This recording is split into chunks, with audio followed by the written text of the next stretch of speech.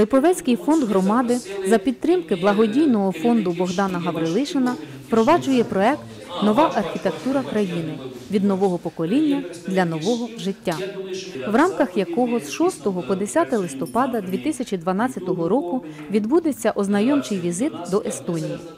Для організації візиту проведено зустріч з президентом Асоціації українських організацій в Естонії Володимиром Паламарем.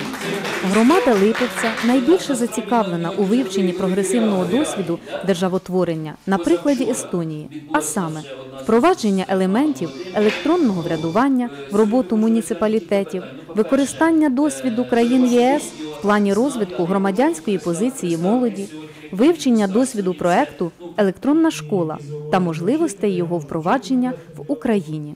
Чому ж саме Естонія? Більшість жителів цієї країни вже давно не стоять у чергах за довідками і рецептами, не ходять по магазинах, не беруть участі в голосуванні на виборчих дільницях.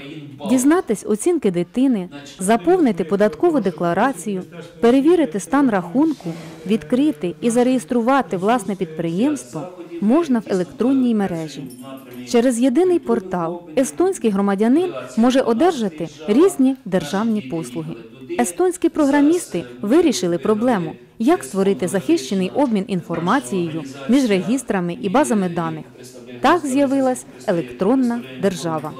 Отже, в рамках ознайомчого візиту відбудуться зустрічі із головою та депутатами міських зборів міста Єхві, з представниками некомерційних організацій повіту Іда Вірумаа. Також планується відвідування загальноосвітньої школи і знайомство з проектом Електронна школа. 8-9 листопада в Таллінні відбудеться зустріч із віце-спікером парламенту Лайне Рандярк. Зустрічі з Рафаелем Амосом, юристом, віце-мером міста Сауе та спеціалістом, який займається залученням інвестицій. Е, Я не кажу, що ви зразу отримуєте якісь кошти на підтримку свого бізнесу, але ви отримуєте великий досвід, як можна е, за мінімальні кошти е, свій бізнес розвивати і виходити на міжнародні ринки.